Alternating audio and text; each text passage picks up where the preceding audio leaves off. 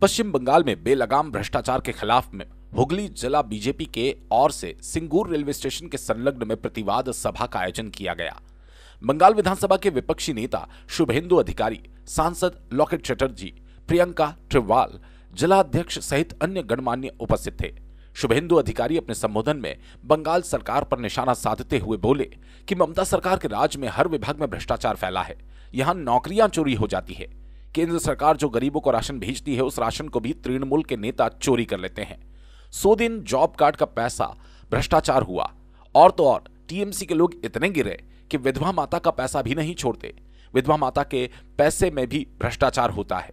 TMC के नेता toilet का पैसा भी खा जाते हैं। 2011 के पहले यहाँ के स्थानीय विधायक पंचर साइकिल लेकर घूमता था, फटा हुआ पैजामा पहनता था, बीड़ी पीता था और आधा पीने के बाद उसे बुझाकर रख लेता था।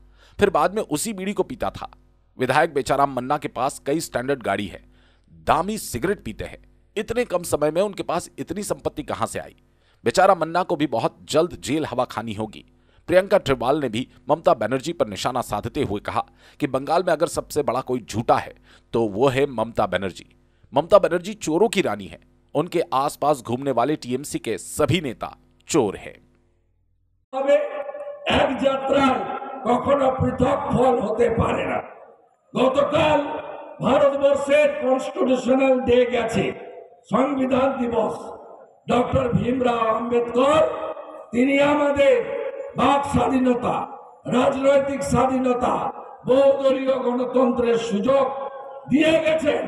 তাই মমতা ব্যানার্জি ভেবেছিলেন যে সিপিএম কংগ্রেসকে যেমন নাকানি চুবানি খাওয়াতেন আর বিমান বসুকে ডেকে ফিস ফ্রাই খাইয়ে টাটা, বাই বাই করে দিতেন।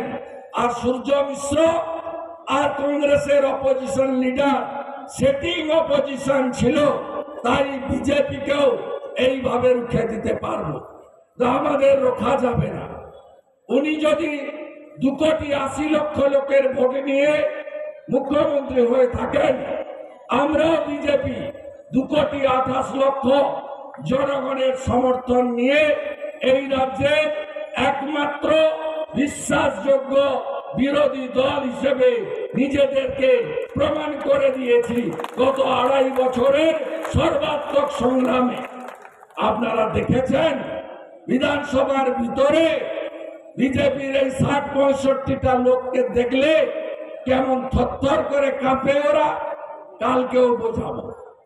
কালকে বিধানসভার প্রথম ওয়ার্কিং ডে কালকেও চোর চোর শোনাবো, কালকেও বিধানসভায় সাংবিধানিক ডেতে, আলোচনাতে মুখ্যমন্ত্রী আসবেন কিনা জানি না, কারণ ভাইপোর সঙ্গে তো একটু তু তু মেয়ে মেয়ে হচ্ছে, এটা এখন কি জায়গায় দাঁড়িয়েছে? ভাইপো বলছে, আমাকে এক্ষুনি মুখ্যমন্ত্রী করতে হবে, আর পিসি বলছে যে জীবন থাকতেও নয়, আমি ছাড়ব না। আমি দেহত্যাগ না কর- করলে পদত্যাগ করব না। এটা পিসি বলছে আমার কথা নয়। তৃণমূলের মাল ঝালেদের বক্তব্য। মাল ঝালেদের বক্তব্য, তারা টিভিতে বসে এই সব কথা বলছেন। যাদের কাউকে আমি নর্দমার কিট বলি, কাউকে বলি যে এই সমস্ত লোকের নাম মুখে উচ্চারণ করলে বাড়িতে গিয়ে ফিনাইল দিয়ে মুখ পরিষ্কার করতে হবে। নীতিতে আপনি যুক্ত তার কাছে সমস্ত নথি প্রমাণ আছে। কি বলবেন ও সিঙ্গুরেই এলে এই কথা বলে প্রমাণ করতে পারেনি আর প্রমাণ করতে পারবে না। একদম হান্ড্রেড পার্সেন্ট শিওর। আর উনি বারে বারে সিঙ্গুরে এসে আমাদের নামে মিথ্যা কুৎসা অপপ্রচার করে যায়। যত আমাদের নামে মিথ্যা অপপ্রচার কুৎসা করবে তত ওদের ভোট ব্যাংক কমবে। এবং ও নিজে জেনে গেছে যে হুগলি লোকসভার টিকিট পাচ্ছে না, আর টিকিট পেলেও তার কোনো জেতার সম্ভাবনা নেই। তাই কর্মী সমর্থকদের কাছে হাততালি কুড়োনোর জন্য একটা অবাস্তব মানে এই কথা সিঙ্গুরের মানুষের কাছে যখনই আসেন তুলে দেন। সিঙ্গুরের মানুষ ওনাকে দেখতে পায় না, উন্নয়নের কাজে থাকেন না। সিঙ্গুরের মানুষ ভোট দেওয়ার পর লকেট চাটের যুগে গ্রামের মানুষ আর দেখতে পায় না। তাই হারার ভয়ে বিভিন্ন রকম মিথ্যা বিভ্রান্ত করছে। শুভেন্দু অধিকারী যাচ্ছিলেন আজকের জনসভায়। তিনি ইডির ভয় দেখিয়েছেন যে বেচারাম মান্না এবং করবি মান্না তাদের মাল কোথায় রাখে দেখব? ভেতর থেকে বিভিন্ন জায়গায় যেমন উনি যেখানেই যাচ্ছেন সারা পশ্চিমবঙ্গে ইডি সিবিআই আয়কর দপ্তরের হুঁশিয়ারি দিচ্ছেন এতে আমাদের কোনো যায় আসে না। তার কারণ শুভেন্দু অধিকারী পলিটিক্যালভাবে তিনি কখনো জেল খাটেননি সিপিএম কোনোদিন তাকে মিথ্যা মামলা দেয়নি সিপিএম তাকে জেলে ঢোকেননি। তার কারণ সিপিএম এর সাথে একটা বড় আঁতাত ছিল। আর আমরা সিপিএম এর বিরোধিতা করে আন্দোলন করেছি বলেই আটষট্টিটা মিথ্যা মামলা খেয়েছি, জামিন অযোগ্য মামলা, এবং বিয়াল্লিশ দিন তিন খেপে জেল খেটেছি পুলিশের মার খেয়েছি, হাসপাতালে ভর্তি হয়েছে। এটা সিঙ্গুর সহ সারা পশ্চিম বাংলার মানুষ জানে। তাই ওর এইসব মিথ্যা মামলার হুমকি অন্তত আমরা করা মানে কেয়ার করি না।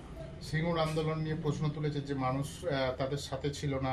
বুদ্ধবাবুর উদারতা এবং রাজ্য আহ, তৃণমূল কংগ্রেসে থাকতে নেত্রী মমতা বন্দ্যোপাধ্যায়কে বারে বারে ব্ল্যাকমেল করেছেন এবং তৃণমূলে থাকাকালে রসে বসে ছিলেন। বৃহত্তর স্বার্থে মুখ্যমন্ত্রী হওয়ার লোভে তিনি দল ত্যাগ করেছেন বিজেপির দিকে গেছে। তবে যত দিন যাচ্ছে ওর জনসমর্থন জিরো এসে পৌঁছাচ্ছে এবং বিজেপি পার্টির মধ্যেই একটা ওনার বিরুদ্ধে একটা রোষ জনরোষ তৈরি হচ্ছে। তাই নিজের পায়ে মাটিকে শক্ত করার জন্য আর কেন্দ্রীয় নেতৃত্বকে দেখাবার জন্য ও মাঝে মধ্যে এরকম চটকদারি বক্তব্য বলে।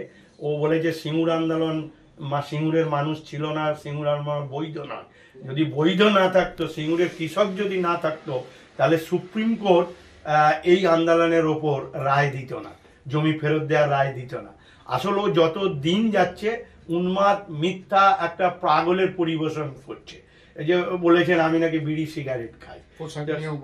বিড়ি সিগারেট খাই। তো বিড়ি সিগারেট সারা সিঙ্গুরের মানুষ জানে যে বেচারাম মান্না বিড়ি সিগারেট খায় না। ও যে কত বড় মিথ্যাবাদী আজকে সিঙ্গুরের মানুষ প্রমাণ পেয়েছে। কেন? আমি ওকে চ্যালেঞ্জ করছি যদি আমার বিড়ি সিগারেট খাওয়ার ছবি বা লোকের কাছে প্রমাণ করতে পারে তাহলে বুঝব যে উনি সত্যিকারেই ওই শিশির বাবুর ব্যাটা। আর তা নাহলে বুঝব, যদি প্রমাণ করতে না পারেন, তাহলে বুঝব উনি শিশির বাবুর ব্যাটা নয়। আর সিল্কের পাঞ্জাবি শুনুন, আমি, আমরা যেটুকু জানি, আমাদের বাংলার মা বোনেদের স্বামীরা মারা গেলে বিধবা হন।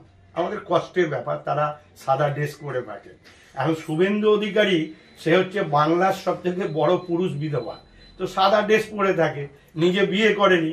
বিয়ে করলে শ্বশুর বাড়ি থেকে বিভিন্ন সময় উৎসব, পার্বণে সিল্কের পাঞ্জাবি বিভিন্ন রকম ভাবে দেয়, সেই পাঞ্জাবি পরতে পারতো, কিন্তু উনি তো বিবাহ করেননি। সেক্ষেত্রে আমরা বিবাহ করেছি শ্বশুর বাড়ি থেকে বিভিন্ন রকম পালে পম্বানে পাঞ্জাবি দেয়, সেই পাঞ্জাবি পরি এখন সেই নিয়েও যদি রাজনৈতিক মঞ্চে কটাক্ষ করে মানে এটা কত নিম্নমানের রাজনীতিবিদের কথা মানে চরিত্র, সেটা সিঙ্গুরের বুকে দাঁড়িয়ে শুভেন্দু প্রমা- প্রমাণ দিয়ে গেলেন। আচ্ছা আপনি নাকি সিঙ্গুরে যে টাটার কারখানায় ইট বালি সুরপির কন্ট্যাক্ট পেয়েছেন এটাও এটাও বলে দিলাম যদি শুভেন্দু অধিকারী সেটা প্রমাণ করতে পারেন তাহলে বুঝব যে সত্যিকারই শুভে শিশির বাবুর ব্যাটা আর তা না হলে বুঝব অন্য কারও ব্যাটা। মমতার ধর্ণা মঞ্চে উনি একদিনও আসেননি এইরকম একটা দাবি করেছেন। দেখুন উনি মিথ্যা কথা বলছেন। তার কারণ হচ্ছে বাংলার সকল মানুষ দেখেছেন যে মমতার আন্দোলনের পাশে না থাকলে শুভেন্দু অধিকারী আজকে শুভেন্দু অধিকারী হতে পারতো না। এটুকু জেনে রাখবেন। আর মমতার কাছ থেকে চলে আসার জন্যই ওনার জনসমর্থন কমছে এবং মানুষ থেকে বিচ্ছিন্ন হচ্ছে, যার ফলে তিনি বিভ্রান্তকর মানুষকে নানান রকমভাবে কথা বলছেন এবং তার পাঁচ বছরের আগে তার টিভির বিবৃতির চোখমুখ আর আজকের চোখমুখ দেখবেন সম্পূর্ণ আলাদা। তার কারণ, উনি নিজে ফার্স্টেশনে ভুগছেন।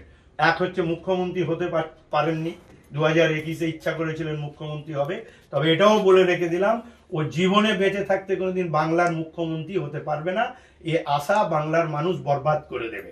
আর আগামী দিন ও যেভাবে মানুষকে মিথ্যা মামলা দেখাবার হুমকি দিচ্ছে, যেভাবে মানুষের কাছে মিথ্যা কথা তুলে ধরছে, তাতে আগামী দিন আমি দায়িত্ব নিয়ে বলছি, ওকে বিজেপির পার্টি অফিসে চা বইতে হবে। দু হাজার চব্বিশের আগে তৃণমূল দুভাগ হয়ে যাবে, এটা একটা পিসি, একটা ভাইপোর দল। এবং সবার প্রথম এলাকার শান্তি নষ্টের জন্য তারকেশ্বর বিধায়ককে অ্যারেস্ট করা উচিত। অ্যারেস্ট করলেই সব সমস্যার সমাধান হয়ে যাবে। উনি ওখানকার বিধায়ক উনি মদত দিচ্ছেন এরকম অশান্তি সৃষ্টি করার জন্য। আবার ওনার দলেরই দুটো টিম আর ওখানকার লোকাল মানুষের শান্তি ভঙ্গ করছেন। তীব্র বিরোধিতা করছি। দুই গোষ্ঠীর লড়াইয়ে এলাকা উত্তপ্ত হচ্ছে। এলাকার মানুষের শান্তি নষ্ট হচ্ছে। নিজেরা মারপিট করছে, খুনোখুনি করছে, সাধারণ মানুষ কি দোষ করেছে? নিজেদের ভাগ বটরা নিয়ে মারপিট করছে। সবার প্রথম পুলিশের উচিত বিধায়ককে অ্যারেস্ট করা।